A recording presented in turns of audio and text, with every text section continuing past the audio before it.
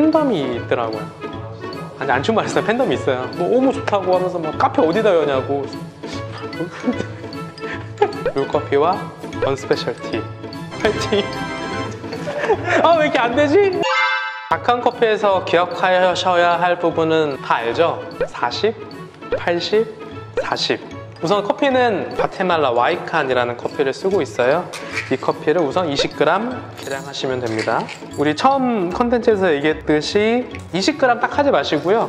21g 정도 계량하시면 될 거예요. dark한 커피에서 중요한 것은 우리가 아까 light한 커피보다 이번에는 분쇄도를 조금 만 더 두껍게 간다는 거예요. 그래서 이 그라인더에서는 3.5로 제가 light한 커피를 진행했는데요. dark한 커피는 한 클릭 더 옮겨서 4로 진행하겠습니다. 기존에 있던 커피가 영향을 미칠 수도 있기 때문에 커피 한 두 알, 세 알 정도를 넣고 먼저 grinding을 해줍니다. 그리고 나머지 커피를 잘 넣을게요. 그렇게 하고 grinding 하겠습니다.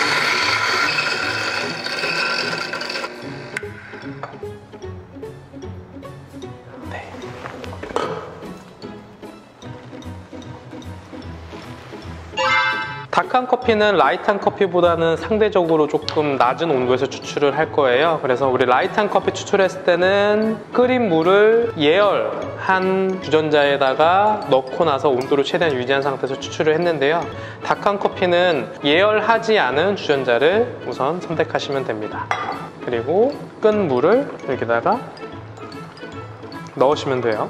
이렇게 하시고 바로 사용하지 마시고요. 한 30초 정도 기다렸다가 사용하겠습니다. 뚜껑이 있으신 분들은 뚜껑을 닫은 상태에서 30초 정도 light한 커피에서는 예열된 주전자에다가 물을 넣어서 최대한 높은 온도로 추출하는 걸 포커스로 두고요.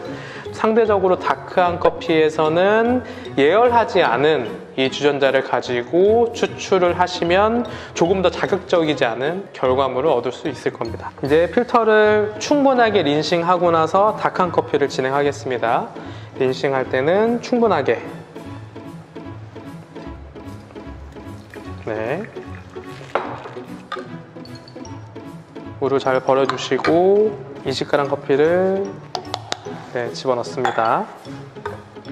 이렇게 됐을 때도 이렇게 산 듬성이 같이 올라가 있으면 약간 흔들어서 잘 맞춰주시고요. 우리 자세 다 아시죠? 손잡이와 드리퍼는 항상 가운데, 수직이 아닌 45도로 되어 있어야 한다. 이걸 꼭 중점적으로 확인해 주시고 0점을 잡습니다. 40, 80, 40에서 네, 기억해야 될 부분은 커피 향이 두 배로 뜸을 들이고 1분 정도 기다리는 거예요. 진행하겠습니다.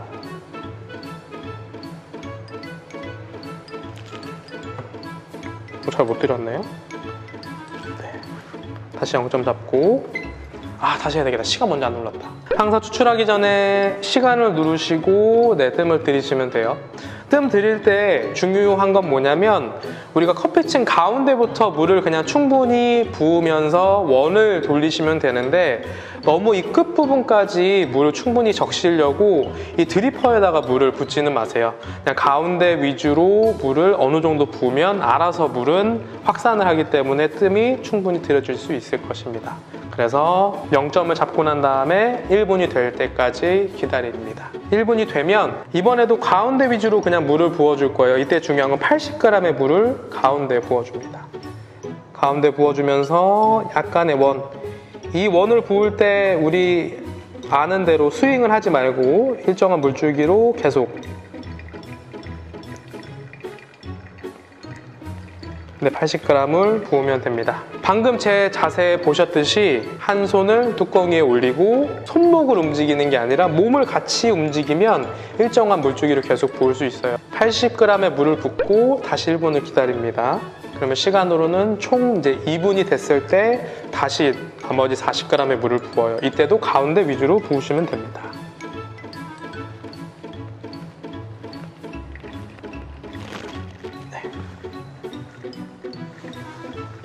이렇게 하고 2분 40초가 될 때까지 기다리면 돼요.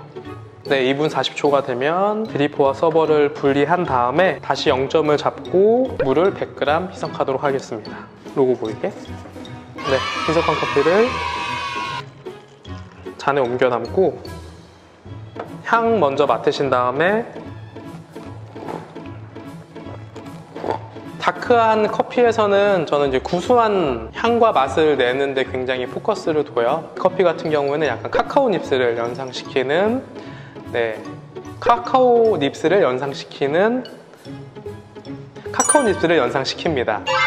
혹시 100g의 물을 부었을 때 너무 연하신 분들은 80g으로 낮추셔도 되고 너무 진하신 분들은 120g으로 물을 희석하시면 돼요. 저는 dark한 커피를 추출할 때는 약 100g에서 120g 정도로 희석을 한 다음에 좀 편안하게 마시는 걸 좋아하는 스타일이거든요. 이렇게 추출해서 드시면 항상 맛있는 커피를 마실 수 있지 않을까 생각됩니다. 이렇게 해서 light한 커피와 dark한 커피 이 두 가지 레시피를 모두 다 여러분들께 알려드렸는데요. 그 light한 커피와 dark한 커피의 레시피가 달랐죠? 그 이유에 관해서 간단하게 네, 설명을 드릴게요. 우선 light한 커피에서 우리가 생각해야 할 것은 40하고 60, 60, 60 그리고 뜸은 30초를 드렸고 30초 간격으로 계속 물을 부었어요. 그리고 dark한 커피는 40, 80, 40 이렇게 부었고 뜸은 1분을 드렸습니다. 어, 이 두 가지 레시피가 차이 나는 이유는 우선 제가 light한 커피에서 생각했던 향과 맛은 브라이트하면서 SDT도 조금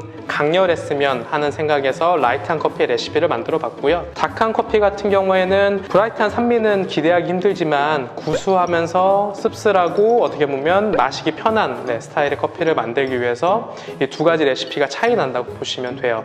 우선 그 두 가지 레시피의 가장 첫 번째 차이는 뜸들이는 시간이죠. light한 커피는 30초를 뜸을 들였고 dark한 커피는 1분 즉 60초 뜸을 들였습니다. 30초와 1분의 차이점 같은 경우에는 여기 아래 보면 안치훈 바리스타 네, 뜸들이는 영상이 링크 걸려 있겠죠? 30초와 1분의 차이점은 우선 우리가 향미 flavor적으로 봤을 때는 단맛에서 구수한 맛 그래서 구수한 맛에서 씁쓸한 맛 이런 식으로 계속 발전이 되기 때문에 light한 커피는 상대적으로 적은 시간에 뜸을 들였고요.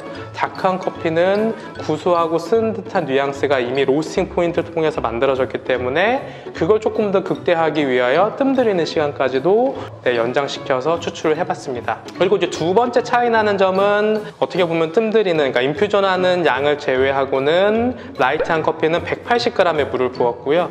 다크한 커피는 120g의 물을 부었어요. 그러니까 두 가지의 어떻게 물 붓는 양의 차이점은 총 추출량이 차이가 나면 우리가 느낄 수 있는 산미에 관한 부분이 차이가 난다고 저는 생각해요. 추출량이 많아지면 많아질수록 산미가 증가한다고 생각합니다. 그게 이제 SDT 계열에서 사워 계열 로 변하는 단점도 있긴 하지만 어느 정도의 추출량을 우리가 원활하게 만들어줬을 때는 우리가 신맛이 조금 더 있다라고 느끼게 되고요. 추출량이 상대적으로 적어졌을 때는 신맛보다는 달고 좀 고소한 맛을 많이 느낄 수 있는 네, 추출 레시피가 되기 때문에 light한 건 조금 더 추출량을 늘려보았고 dark한 건 상대적으로 추출량을 조금 더 낮춰보았어요. 그래서 이 두 가지 레시피를 한번 비교해 보면서 여러분들이 직접 추출을 해보시고 직접 댁에서 커피를 내려 드시면 나쁘지 않게 커피를 마실 수 있을 거다 생각이 듭니다. 이 두 가지 레시피 또한 저희 룰커피에서 직접 하고 있는 레시피이기 때문에 혹시 차이점을 느껴보고 싶으시면 서초동 룰커피 검색해서 오시면 되고요. 유튜브 보고 오셨다고 하면 제가 섭섭지 않게 해드릴게요. 이 컨텐츠 함께 믿고 따라오셔서 감사하고요.